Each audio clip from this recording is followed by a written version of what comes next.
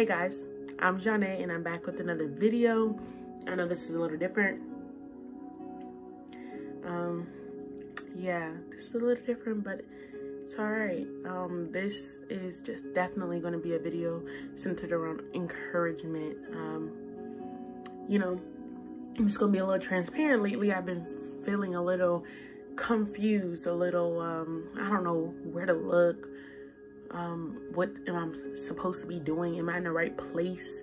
Um, if you feel like you're confused, you're lost, or anything, I want to let you know it's okay and that God is with you. Um, and I just want to encourage you because I believe this is a time where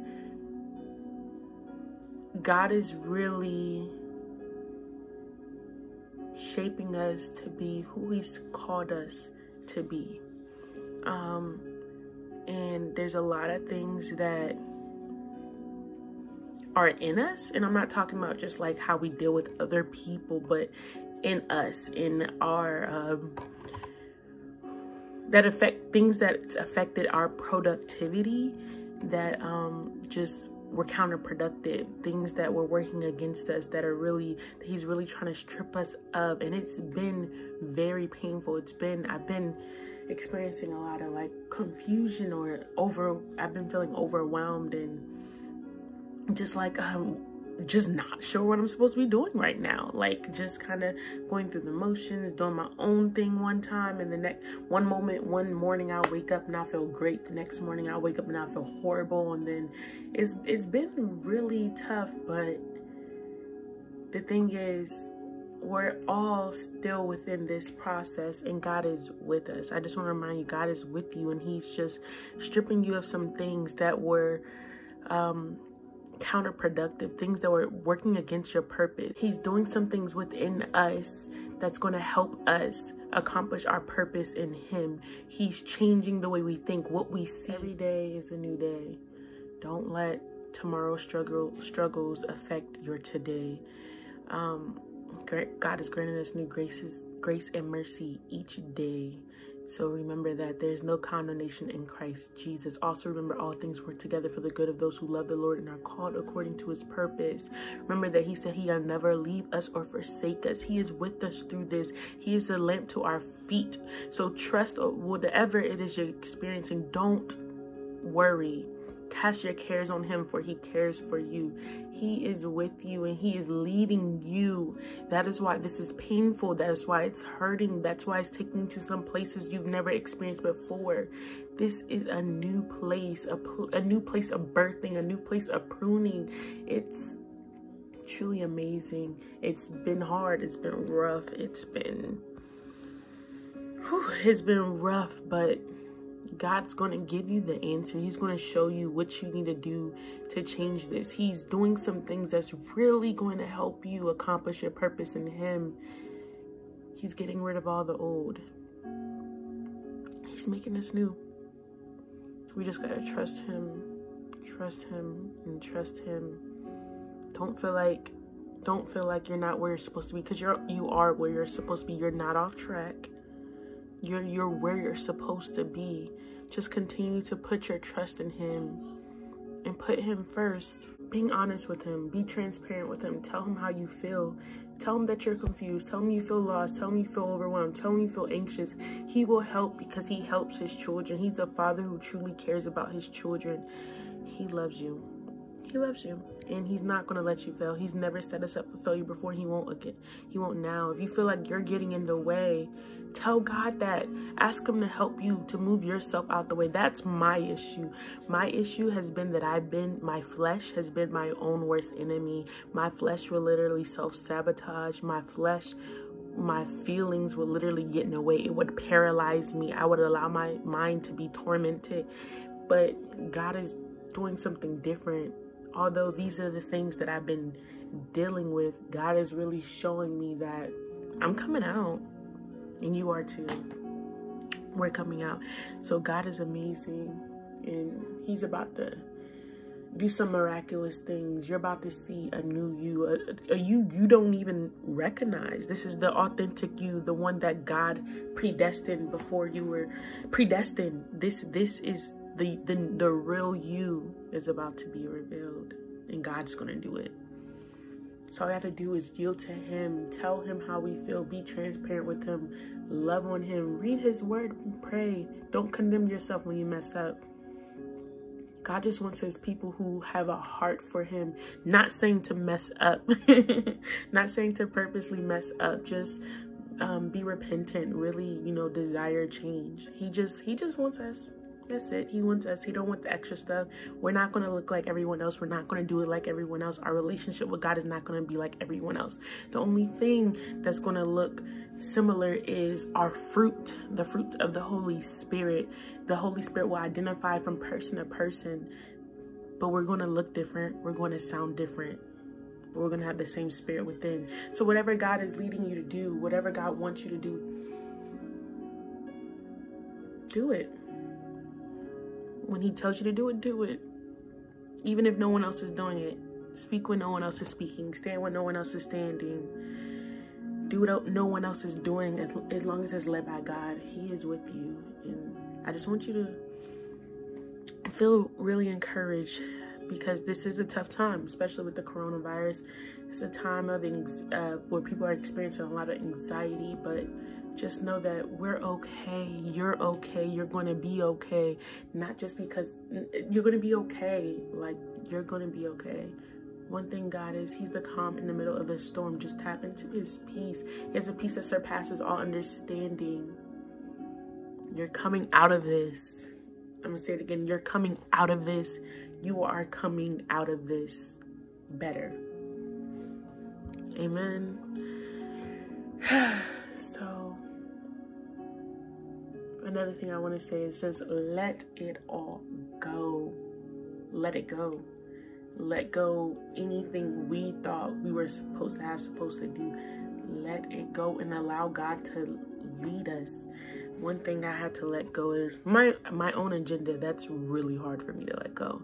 But I had to let that thing go. I really did. Like God was like, just just let it go and let just just let it all go and ask God to reveal to you what you need to let go. But He is with you. He loves you. I hope this helps somebody out there. I really do. Hope this wasn't confusing, but I pray that the Holy Spirit ministered to you because he's definitely ministering to me through this process, this difficult process. Uh, actually, there's something else I want to say. And speak life. Speak life. God is teaching me. He's been teaching me over the past month or so how powerful my words are. Um, there's been some things I've been struggling to accomplish simply because I spoke negative things over it. Not because of everyone else, but because of me. So be careful. Don't say you're incompetent. Don't say you're incapable. Don't say you're tired. Don't say you're, you know, just say, I can do this with the strength of God. That He never sets me up for failure. Decree the word, put the word on it.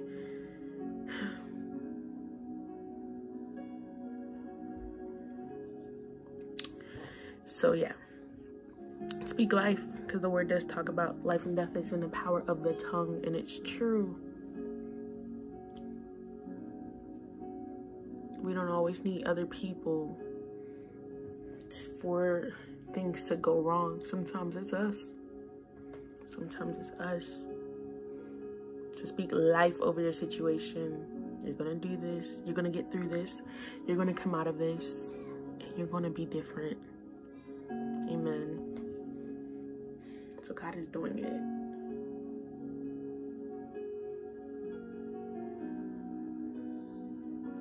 Doing it. Don't worry. God is doing it.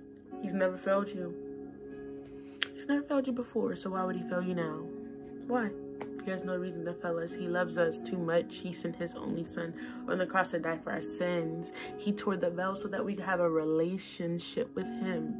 We can come to him in prayer. We can come to him while we're folding our clothes, while we're laying in our bed, while we're on our knees crying out, while we're playing a game. We can come to him talking to him like our friend. He's our friend. He's our teacher. He is our protector. He is our provider. He is our reviver. He is our restorer. He wars on our behalf. He is everything. He is the beginning and the end. He is the most high God. He is the Alpha and the Omega.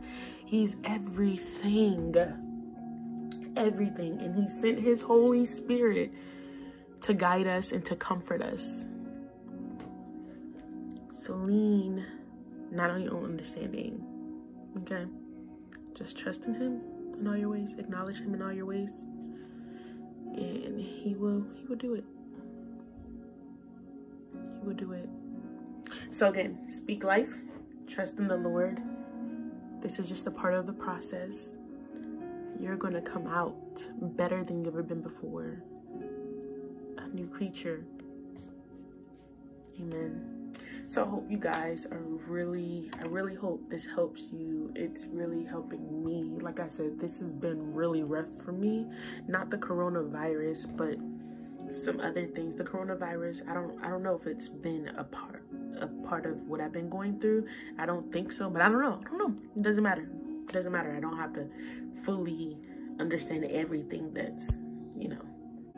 But um it's been just a lot for me. Like i have been dealing with a lot of personal stuff, and um, God's He's just oh my gosh, I can finally see some of what He's doing, and I'm learning that I don't have to understand all that He's doing. Just trust.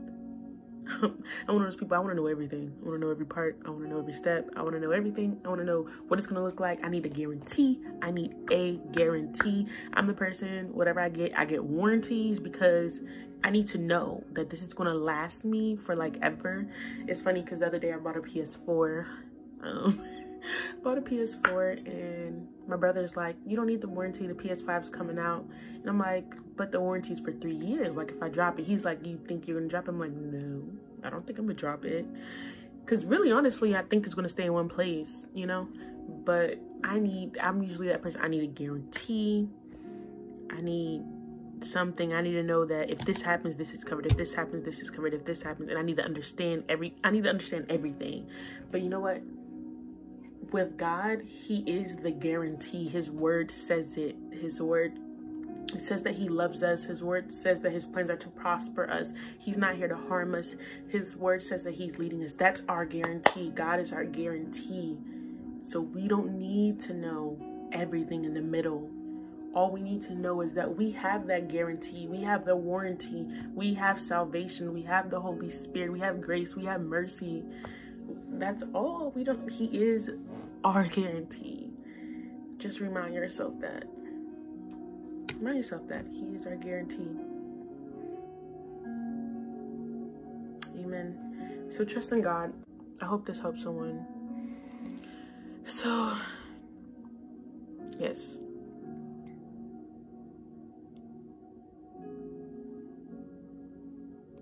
Amen I just want to say a quick word of prayer. Dear Heavenly Father, Lord, Oh God, we thank you, oh God, for who you are. We thank you, oh God, for your peace that surpasses all understanding, oh God. We thank you for your unfailing agape love, Lord. Oh God, we ask that in this time, oh God, that you help each and one of your children, oh God, get whatever they need out of this process, oh God. Oh God, speak to each and every one of us, oh God, whatever you want us whatever you want us to receive, oh God, speak into our hearts, oh God, and write your word on the tablets of our hearts, oh God. Speak to us through our study time, through your word, oh God. Speak to us oh God, so that we know where to go, oh God. We just, we're just seeking you in this hour, oh God. We want you more than we've ever wanted you before. We need you more than we've ever needed you before, oh God. So help us, oh God. Strip us of anything that's unlike you, oh God. But continue, oh God, to shape and mold us to be the people, oh God, you've called us to be, oh God. Continue to give us more of your love, oh God, more of your peace, oh God. Help us to produce more of your fruit, oh God. Show us our purpose in you in this hour, oh God. Show us where we need to go uh, for you in this hour, oh God, who we need to talk to, oh God, what we need to say, oh God. Show us, oh God, what our purpose and ministry is, oh God. Help us in this hour, oh God. Make it clear to us, oh God. And give us strength, oh God. Give us strength through the process, oh God. Give us strength, oh God. May your joy be our strength, oh God. Oh God, you can we can do all things through you because you're strengthening us, oh God. And let no weapon that is formed against us prosper, oh God. In the mighty name of Jesus, oh God. Oh God, give us healing, give us peace, healing of the mind, oh God. Transform us by the renewing of the mind, oh God. So we thank you, oh God, and we invite you into our hearts, oh God, in our minds, oh God, to do a miraculous thing, oh God. Oh God, we're here, oh God, to be used for your glory, oh God. We're here as willing vessels, oh God. We're here offering ourselves as living sacrifices, holy and pleasing unto you, oh God. Change us, oh God, for you. In Jesus' mighty name. We trust in you, oh God, and we know, oh God, that your plans are perfect, your timing's perfect, you are perfect, oh God, and your plan is to prosper us, and all things work together for our good. So we thank you, Lord Jesus, and we praise you, oh God. In Jesus' mighty name we pray and say thanks and amen. Hallelujah, Lord. So that's all I have for you, and I hope this helped you. And yeah, amen. Bye, guys.